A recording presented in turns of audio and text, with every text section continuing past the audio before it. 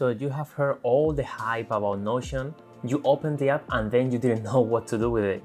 I know because I felt the same way when I first opened it.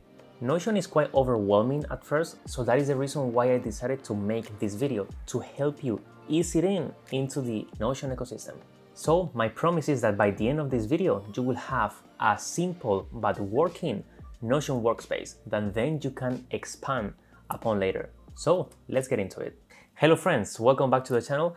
My name is Daniel. I'm a former engineer, I guess still an engineer, founder of the Notion Academy, and on this channel we use Notion and other tools and strategies to free up our time and to gain control of our lives. So the first thing that we are going to need in our Notion workspace is some organization. So that's why here I have created this, my HQ page. This is going to be the page in which I am gonna display all the different pages that my system contains. And I like to separate everything in columns. So let's create some columns for this. I'm going to separate this layout in task management, knowledge management, and one scratchpad. We will see how each of them looks in a minute. So first, let's create them. Now for creating the columns, I just have to drag from these six dots to the right until we can see this vertical line. And then we drop it and we just created a column. And the same process for the other one. Now, in order to make it a little bit more beautiful, let's turn this into a title. There is two ways to do this. One is clicking these six dots and turn into a heading, or we can use the shortcut for this, which is Command Alt 1 or 2 or 3, depending on the type of heading that we are going to be using. I'm going to be using heading 2 and the same for the other ones. So now let's create the page for task management.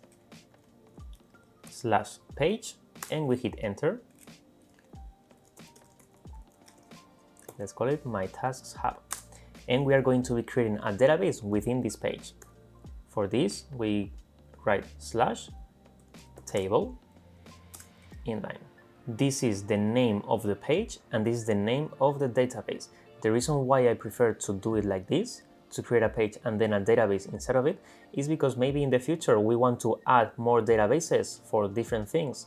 For example, I use uh, goals and outcomes and both are different databases in my own system. So I'm gonna be populating all these databases over here. But so far, we will just need one. So here, the properties that we are going to be using is the task, this is gonna be the task description, the due date, which is going to be the date in which we are going to do this task, then add a new property with the project, and this is going to be a select property. We can add here the different projects that we have. Project one, the next one is going to be the dollar task. This concept comes from Khe Hy, and if you want to dive a little bit deeper into it, I just created a video recently in which I explain it in full detail that I'm gonna link over here. But long story short, this is based on a quadrant that tells you how high or low skill and high or low leverage your task is, so then you can prioritize them better. And we have these different options. Next is going to be the task status, that is also going to be a select property. And for this, I like to have three statuses, not started, in progress, and completed. The reason for this is I like to have this in progress status because whenever I'm going to start to work on a task, I like to move it to in progress because this is a way to tell my brain that I'm now working on this task. And believe it or not, this really helps with focusing on that task.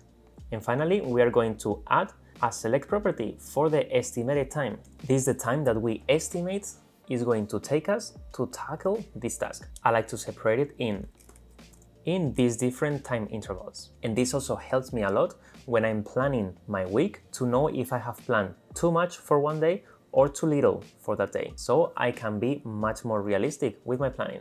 And that is it. This will be the very simple task management system that we are going to be creating. If we want the page to be shown full width, we just go here and select full width and we can see all the properties at once. So let's add some tasks. Okay, so that is it. But for me, this view is not very useful. So therefore, I'm going to be creating a page that is going to be the page where I'm gonna live in every day. That is going to tell me what I need to get done today.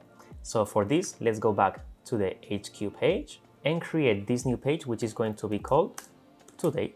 And now we are going to be creating a linked database. This is a mirror image of this task database that we just created.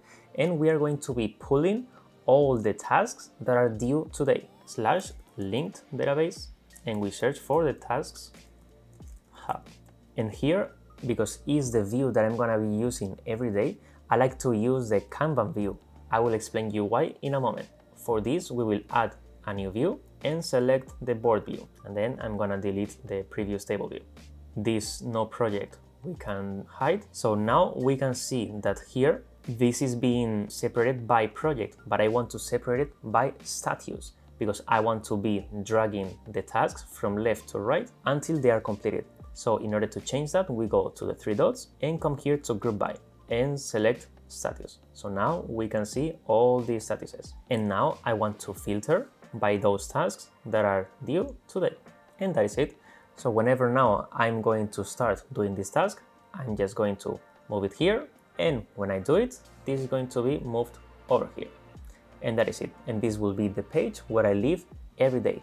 By the way, this filter is very simplistic because let's say that today I don't finish all my tasks, so tomorrow those tasks of yesterday wouldn't be visible, but this will require some more complex filters that we are not going to get into in this video. But, but if you're interested in knowing more about this, I link a video over here in which you can see my whole system and also I show you how this real filter looks like. But for the time being, to making it simple, let's keep it this way.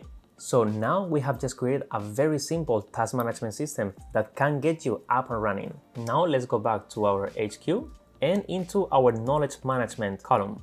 Here let's create a new page that is going to call my knowledge hub. And here we are going to be creating three databases. One for books, one for articles, and another one for authors. This one will be optional. I will explain you why. So let's create the first one and let's create the second one. Okay, so we have the bare bones of our system. So let's define which are going to be the properties for our books database. First, the title, then the status. This is gonna be useful for separating which books are we actively reading, which books we have read, and which books are pending. And the next property is going to be the author. Here we have two options one to leave it as a text property so we can write here the name of the author or we can make a relation between the books database and the authors database. The pro of doing a relation is that let's say that one same author has several books and some articles. So we will be able to condense all the information related to that author into this author's database. Let me explain. Here, if we change this to a relation and we select the authors database, and then by going here, we will be able to write here the name of the author and create a new page in this other database. So here you can see that the name was added.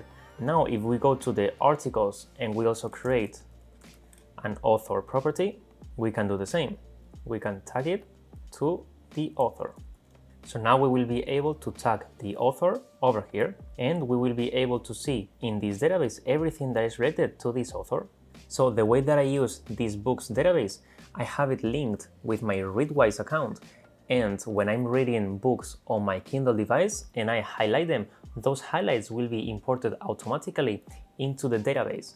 So if you're interested in knowing how this works, you can find in the description of this video a link so you can start using Readwise if you also use Kindle. But if not, I have here a video uh, with my full system overview on how I take notes from books and process them with online tools. So then for the articles database, we will add also here, which is the status of the article. The statuses can be not read, reading, and read, the same as with the books.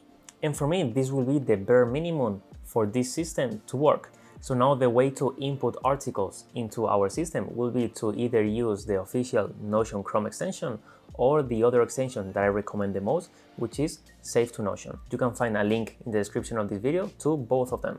And so that will be it for our Knowledge Hub. Now let's go back to the HQ and create what would be our final database, which is a scratchpad. The idea of this scratchpad is to have a place where we can fast input whatever thought we're having so then we can process it into other places of our workspace. So for this, I'm going to create a database that is contained within a page. And for this, we are going to be using this table full page because we are not gonna input anything else within that page. So that page is just going to be the database. Here, we are going to be using the Scratchpad. And honestly, we just need one property, which is the idea property. So here, we will be able to input whatever ideas we're having, and then we can process them into every part of our system. So now the next step will be to make everything look pretty because this is quite ugly in my opinion. This is one of the features that I love about Notion and is that you can really customize how everything looks. So we can customize these titles.